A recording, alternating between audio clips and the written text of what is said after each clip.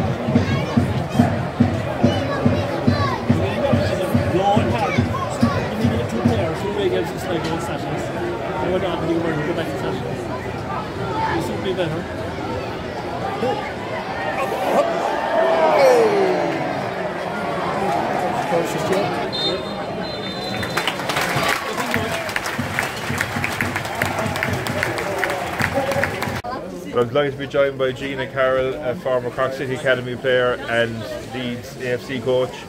Do you know what you make of the first half? Uh, first half was brilliant. Uh, they started off I know, yeah. with uh, Rory Keating scoring the first goal. Uh, delighted for him because he needed a bit, bit of a boost as well. Um, then Cahill scored again. Uh, make it 2 0.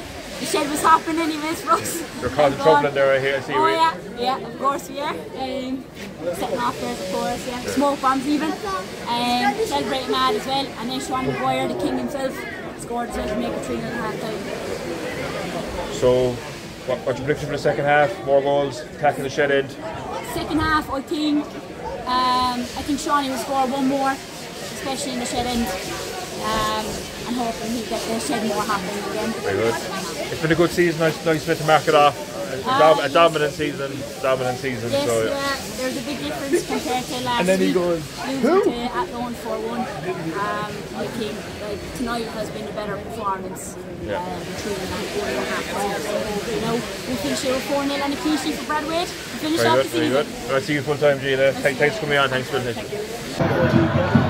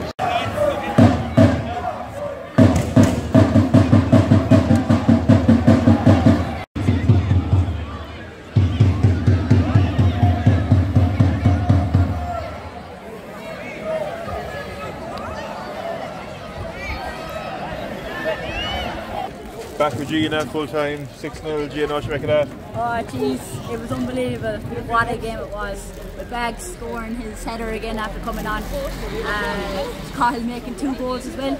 Scoring three after after half time. Being 3 0 up.